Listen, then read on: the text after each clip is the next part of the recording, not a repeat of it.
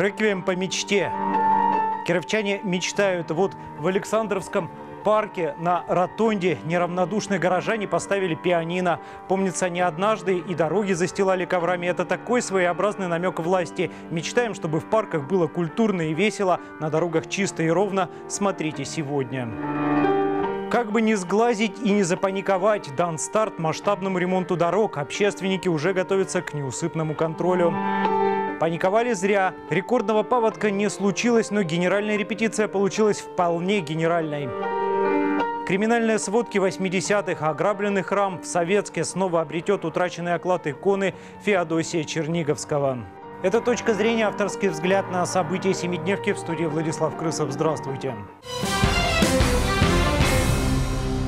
И партия тут снова ни при чем. Просто, наверное, немного остается времени до других выборов. И сделанные дороги даже не козырь, а джокер для России. Протестный Киров в этом смысле просто необходимо сдобрить. Сдабривать уже начали. Неделя в Кирове прошла под лозунгами «Сделаем, проконтролируем, все будет хорошо». И, видимо, поэтому, что на кону стоит великий выбор, пока складывается впечатление, что дороги действительно сделают как нужно, хоть и насколько возможно. Улица Володарского. Таких памятников технологиям содержания дорог в Кирове даже не сотни. И, казалось бы, должны уже проанализировать, сделать выводы и покаяться, но... Открытие сезона ремонтных работ 2017 уже начали делать улицы МОПРа. Позвали журналистов. Главный вопрос – надолго ли? По требованиям э, муниципальных контрактов э, гарантийный срок 4 года. То есть в течение, нет, в течение четырех э, лет подрядчик несет полную гарантию по восстановлению асфальтобетонного покрытия, если оно в каких-то местах будет разрушено. Ну, то есть это не гарантирует, что они не разрушатся в следующей весне? Гарантия только ремонта. Гарантия ремонта.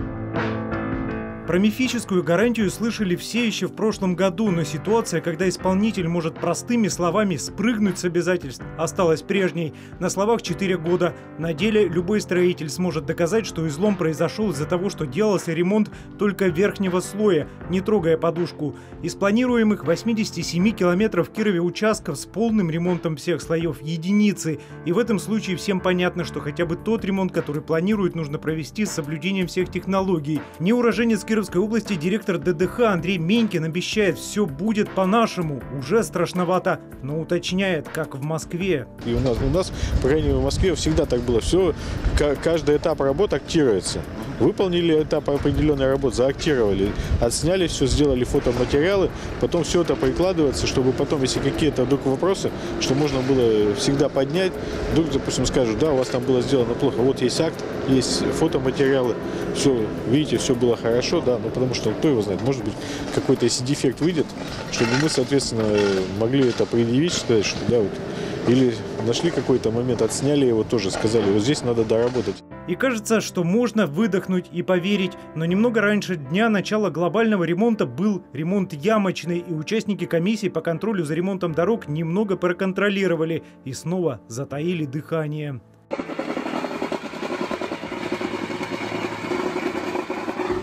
Уплотняем лужи!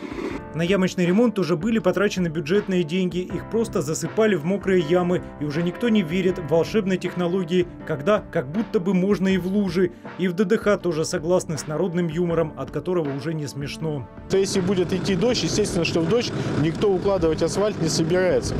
И нарушать технологии тоже мы за этим будем следить четко, чтобы никаких нарушений в технологическом процессе не происходило.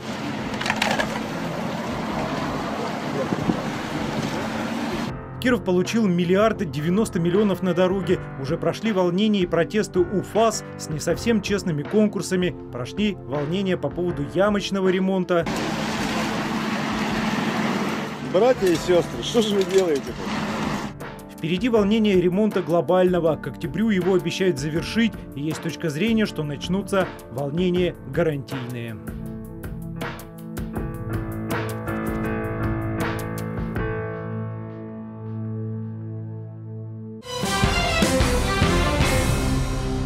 Паводок 2017 можно выдохнуть. Большая вода не пришла. Чиновники утверждают, что все еще держит руку на пульсе. А еще ежедневные отчеты о том, как все хорошо. И действительно, все хорошо. Испытать мостики на плавучесть не получилось, и все-таки кое-где отчеты в кабинетах не сошлись с реальностью. Для жителей Слободы Дымкова утро 10 мая было не таким радужным, как для чиновников городской администрации. На несколько улиц пришла вода, кое-где уже и сапоги не спасут. Не знаю почему. Наверное, выходит на лодках, выплывает и вообще-то помогает нам спасатели. Но лодка своя все равно на готове всегда, да? Да, да, конечно, обязательно даже. Никогда не делали. В жизни, я сколько здесь живу, ни, ни разу никакие мостики не делал никто. А люди на лодках, да? Да, на лодках, да. Кому надо, те передвигаются на лодках.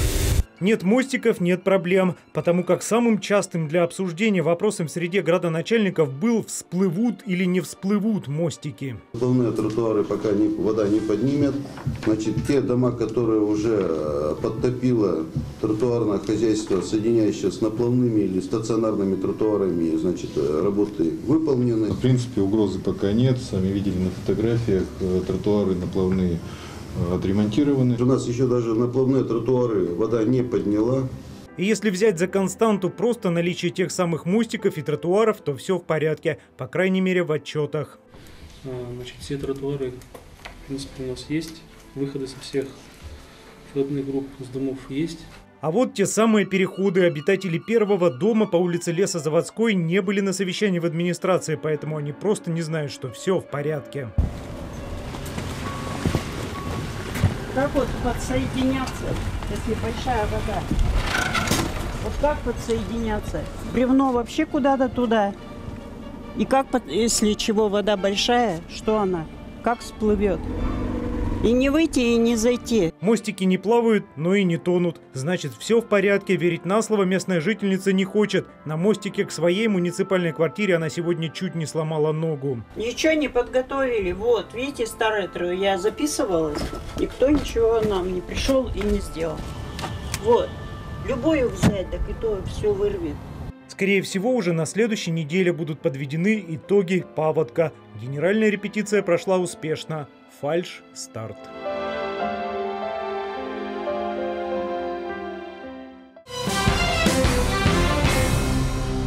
По отчетам все хорошо и современно. В Советске на освоении 75 бюджетных миллионов там построили спорткомплекс. Наверное, местные чиновники и не предполагали, что дареному коню посмотрят в зубы. И еще год назад разгорелся первый скандал. Из-под пола пошли талые воды.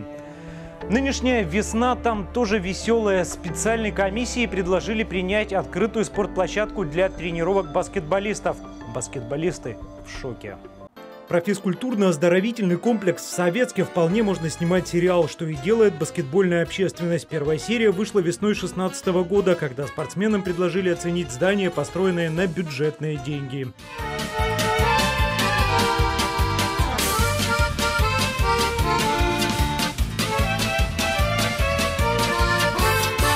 Вполне может потянуть на полноценную вторую серию. Удивил не только материал, его назвали неким ноу-хау и вопреки всем регламентам альтернативой деревянному. Бассейн, наверное, здесь решили сделать. Ну, про покрытие я говорить не буду, это даже по регламенту о спортивных играх запрещено играть на таких полах. Серия 3 – еще одна новинка спортивных площадок – натуральное увлажнение. С улицы попадает вода, вот она. Вода, вот. Внимание.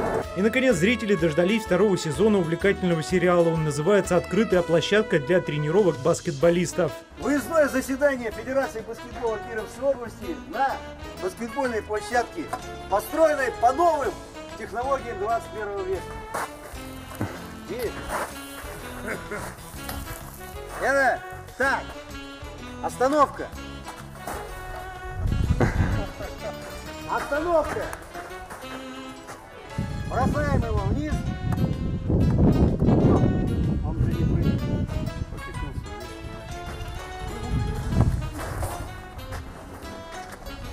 Как здесь делать, если здесь Ты восьмер, восьмерку, постучи, восьмерку. Постучи, восьмерку. Сейчас планируются съемки третьего сезона сериала «Фок в Советской». Пишется сценарий. О его деталях мы попросили рассказать чиновников, кураторов из правительства области. Ответ пока не пришел. Видимо, написание такого сложного материала поручено слишком серьезным специалистам. Детектив корнями из 80-х. Кировскую область снова вспомнили в федеральном масштабе. В Тульской области в закромах местных полицейских нашли забытый вещдок. По самым скромным оценкам, его стоимость сейчас начинается от 70 тысяч долларов. Оклад иконы 19 века пролежал в камере вещественных доказательств после задержания банды грабителей почти 40 лет. Сейчас реликвии вернут в Вятскую епархию, а мы съездили в тот храм, откуда начиналась вся эта криминальная история.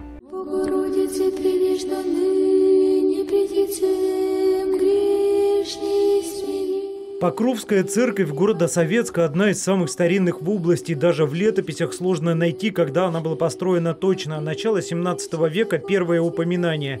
В истории купеческой кукарки храмом жертвовали очень дорогие иконы. Большинство из них написаны на Афоне. Несмотря на десятки набегов грабителей, в этом храме до сих пор висят уникальные реликвии. Оклад иконы Николая Чудотворца, например, очень схож по мастерству изготовления с тем окладом, который сейчас знают во всей России. В начале 80-х он был украден в городе Советске.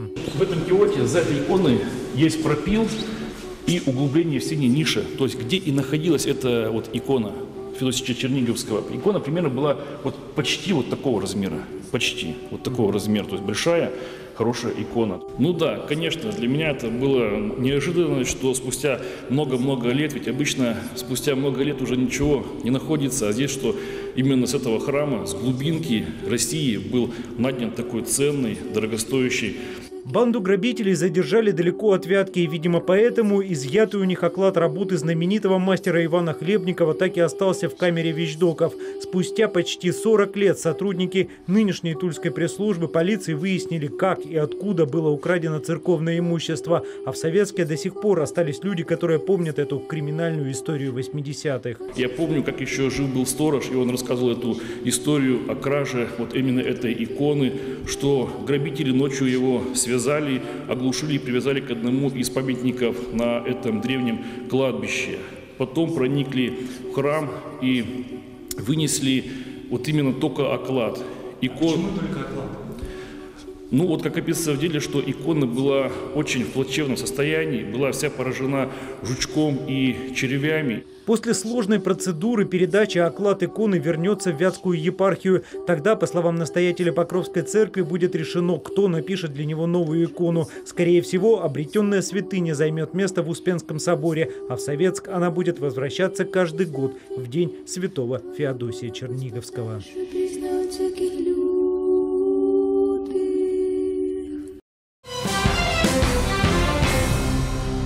Это была «Точка зрения. Авторский взгляд на события недели». В студии работал Владислав Крысов. Увидимся через 7 дней. Пока.